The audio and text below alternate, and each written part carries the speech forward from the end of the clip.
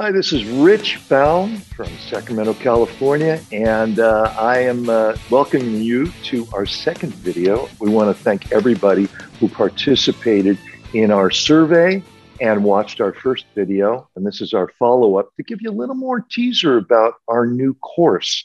And uh, I'm a uh, longtime photographer and an educator on YouTube, and uh, I'm here with my podcasting partner. Brian Berkowitz in New York. And uh, Brian, tell us a little bit about yourself and what are we doing here today? Sure. So, um, as you just mentioned, I am your podcast co host. Um, we've been doing shooting spaces since early 2018. So, we're going on four years now and i'm a commercial real estate photographer. I also shoot you know commercial photography architectural and retail spaces but mainly i'm a commercial real estate photographer. So i shoot um, in new york city. I'm based out of new york um, office spaces tons and tons of office spaces. I think i mentioned to you this previously in 2020 um, and i'm saying this 2020 because i don't have my final numbers for 2021 yet i shot or i photographed 1.2 million square feet of office space in new york city. So um, i mean it is a lot but it, it, when you talk about commercial space it does, it's not as bad as it sounds when you compare it to residential but you know 1.2 million is a lot of space um, so um, I've been doing strictly commercial real estate from a real estate perspective over the last uh, two to three years. So it's it's been fun. But um, you asked what we're going to do today. I think for, for our second part in this little uh, mini series that we decided to put out, I think why don't we offer um, people watching or listening a little quick two or three minute tip or trick to quote um, your little uh, catchphrase, tip or trick um, for for you for residential, and you know I can I can say something from the commercial side that people can learn and, and benefit from. So, um, what do you got? What do you got for us, Rich? Give us the quick oh, two boy. or three minute um, tip or trick that everyone can take away from from a residential real estate perspective. You put me on the spot, Brian. Okay. Um, you know, if I was going to say one thing that I want people to take away from my course is something that people don't really uh, don't think about as much. Uh, a lot of us think about what camera we're going to get, what composition we're going to use, what we're going to do. And I know on my YouTube channel, uh, people will see that I don't do a lot of business on my YouTube channel because business is a really difficult thing to teach or to give suggestions to people because everyone's situation, wherever you live, the uh, demographics, the the everything like that. It it is different for everybody.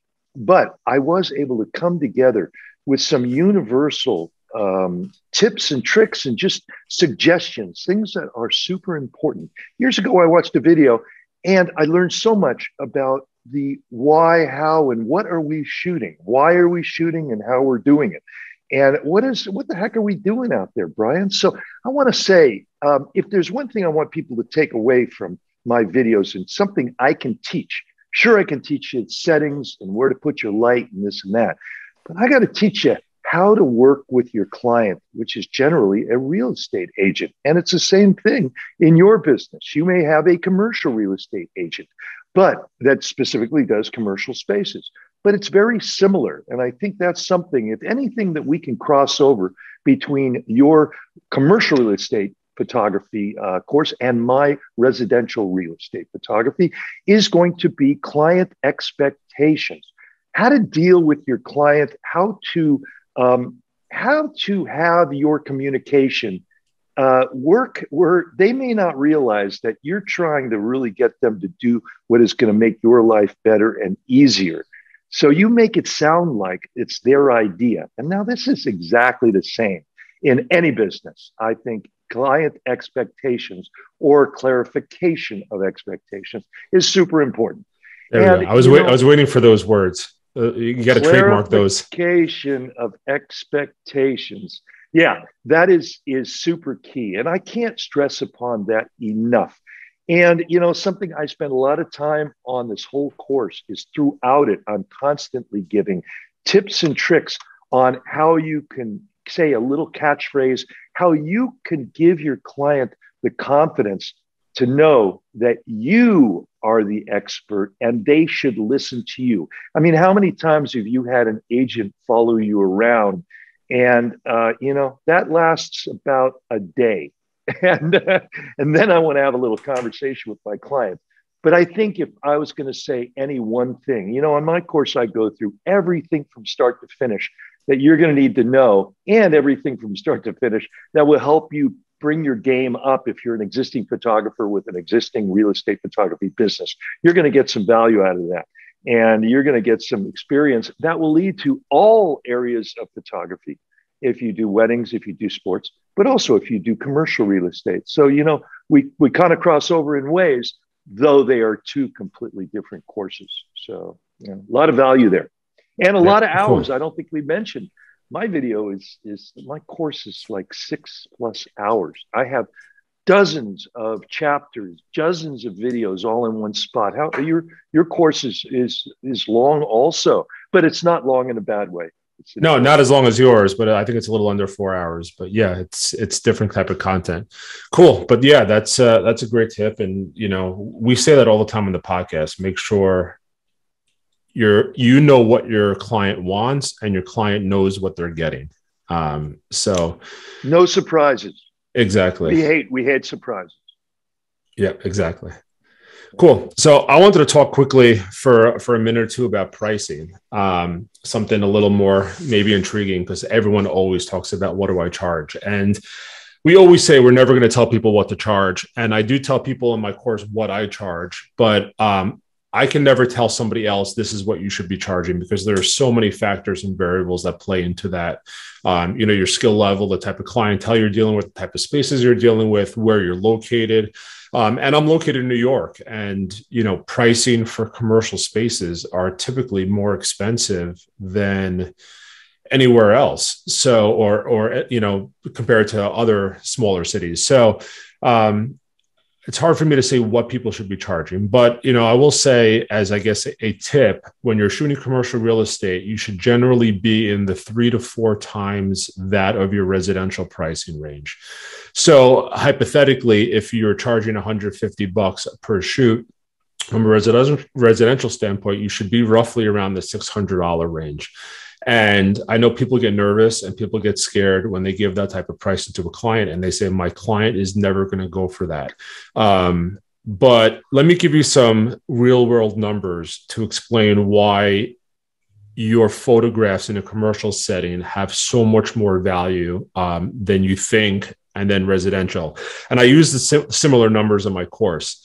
Um, and I'm going to take, for example, 2020, which was last year, and the average price of commercial real estate in New York rented for $85 per square foot.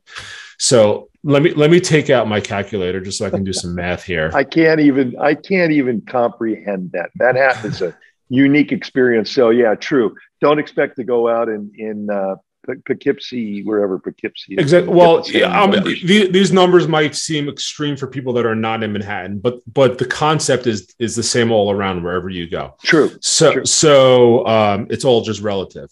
So let's say you have 80, 80 uh, $85 per square foot on a 10,000 square foot space, which is not that, which is not that, not that big in a commercial, you know, in a True. commercial standpoint, um, you know, for an office space that has you know 50 100 employees 10,000 square feet is is not such a big space. So when you have 10,000 square foot space at $85 a square foot they're paying $850,000 to lease this space. Now when you think about that no no office space is going to lease for a year, right? They're going to lease for a minimum of five years, but it's typically 10 years that the landlord's going to want to lease. But let's say five years for an example. If you're leasing 10,000 square foot space at $85 a square foot for five years, that's $4.2 million that this tenant is going to be paying towards this landlord over the course of the lease. Now, let's say you have an agent who's making 5% you know, some agents might make more, some might make less, but we'll take the average of 5% of $4.2 million as a 5% commission. Your agent on leasing this property is making $212,000. So, can they afford to you know pay you three to four times more than residential yes is your value at least three to four times that on your photos than residential because you know, unless you're a residential real estate agent that's selling four, five million dollar and up properties, you're not making those type of commissions. So the commercial agents, and obviously, like I said, this is New York, for example, those numbers are probably higher in New York. Uh, I would assume are higher in New York than elsewhere. But my point is the same your agents are making significantly more money, which means your photos have significantly more value to them, which means you are well within your right and don't be afraid to charge at least three to four times that of residential real estate. Hope that was helpful. Very true. People. Very true. And I will say something that in in uh, the way you shoot uh, your commercial real estate uh, compared to let's say design photography or or or something that would be high end uh, new building photography, things like that. I think it is something that is very accessible to someone newer to the business. It is um, probably not nearly as, as long to edit. Am I correct there? Just the commercial photography. Uh, commercial yeah, I, th- I, think I think it's a little easier. Yeah, yeah, sure. And it is something that you know you got to look at yes you're going to be making you know multiples of your money but it, it, does take take a little more detail a little more work but that just comes with the territory. But uh, yeah man i think that no matter where you are you can take advantage of these these uh, business models that you're, you're putting out there this education you're putting out there brian and utilize it in anywhere that you live. And uh, this is the same way with my course. Anywhere that you are you may have little things that are different but these are universal um, uh, lessons that we're teaching. And you'll walk away. And the best part, too, is you can walk away tomorrow after watching one day of the video in one hour, and you can take something away for it, from it. And you can do it right away. You can mm-hmm. implement those strategies, those techniques, and the educational material right away the next day. All right, cool. Well, um, for the sake of not going on, because everyone knows we can just keep on talking. Um, let's uh, let's I guess call it quits. We want to thank everyone for watching our second video in our little series we decided to put out, and um, hopefully these little tips and tricks that we each offered will help you going forward um, in your residential and commercial real estate businesses. And uh, that's it. Um, we're going to put out another one in the next couple of days, so definitely look out for that. And um, I think that's that about wraps it up. If you have any questions, please shoot them over. If you have any feedback or comments on these videos, please put them in. You know, Rich and I will try and be as active as possible to reply to you if you have any comments and um, messages for us or suggestions. So, with that, I guess, Rich, as always, it's a pleasure.